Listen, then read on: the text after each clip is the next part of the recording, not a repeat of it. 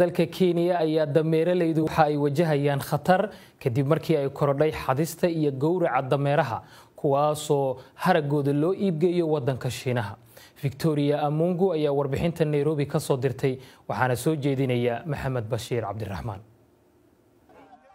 Magaalada magaadi ee dalka kenya dadka dhaqda dameeraha ayaa xaflad gaar ah ku maamuusaya xoolahooda. Dameerku waxa ay yidhaahdaan waa lafdhabarka bulshadooda dameerku waa gaariga dadka masayda. Magaalada magaadi waxa aan dameerka ku raranaa rar culus.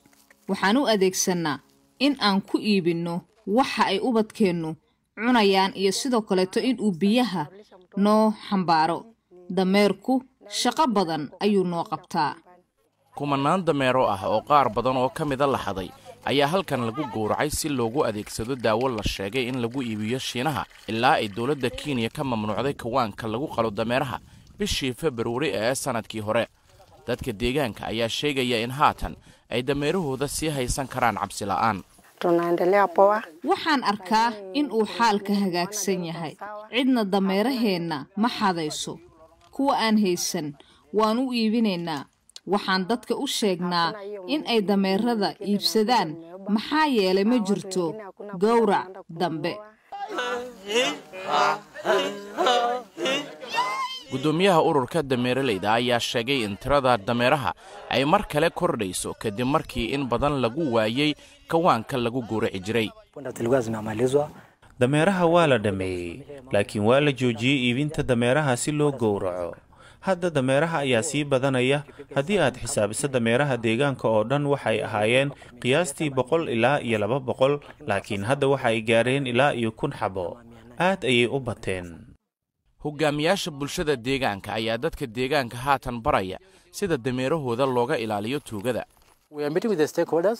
waxaan la kulannaa daneeyayaasha sida hogaamiyaasha dhaqanka odayaasha tuulada iyo hogaamiyaasha kale si aan ka bulsho ahaan uga dheeraanno iibinta iyo xitaa gowraca dameeraha ururada daryeelka xayawaanada ee afrika ayaa iskaashi kala leh kuwa ilaaliya dameeraha sidii looga feejignaan lahaa afduubka loo geysto dameeraha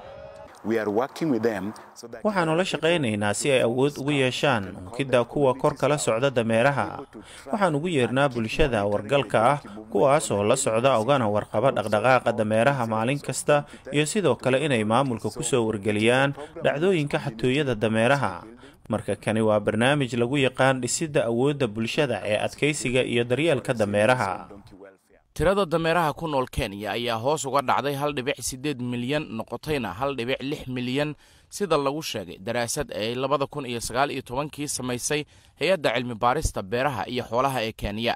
Haatan oo ay jiraan tallaabooyin lagu ilaalinayo dameeralayda ayaa mustaqbalka dhow rajaynaya inay soo celiyaan tiradii xayawaankooda